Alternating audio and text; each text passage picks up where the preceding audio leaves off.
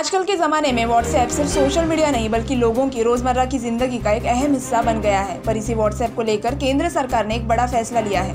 सामने आई एक जानकारी के अनुसार गृह मंत्रालय की शाखा Indian cyber crime coordination centre में 1700 स्काइप आईडी और उनसठ हज़ार व्हाट्सएप खातों की पहचान की है, जिन्हें ब्लॉक किया जाएगा। क्योंकि इन अकाउंट्स का इस्तेमाल डिजिटल फ्रॉड और डिजिटल अरेस्ट जैसे गैर कानूनी कामों के लिए हो रहा था।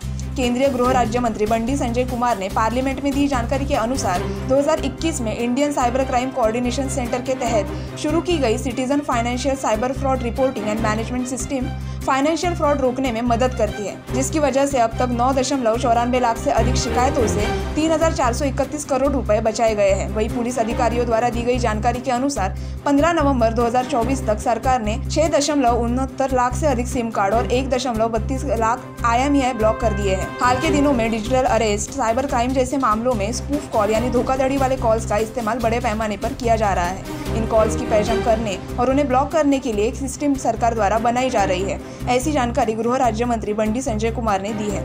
इसके अलावा Indian cyber crime coordination centre में एक अत्याधुनिक साइबर फ्रॉड मिटिगेशन सेंटर भी स्थापित किया गया है, जिसकी वजह से बैंक वित्तीय संस्था पेमेंट एग्रीगेटर आईटी मध्यस्थ टीएसपी राज्य और केंद्र सरकार की कानून प्रवर्तन एजेंसियाँ मिलकर साइबर क्राइम पर रोक लगा सकेंगी।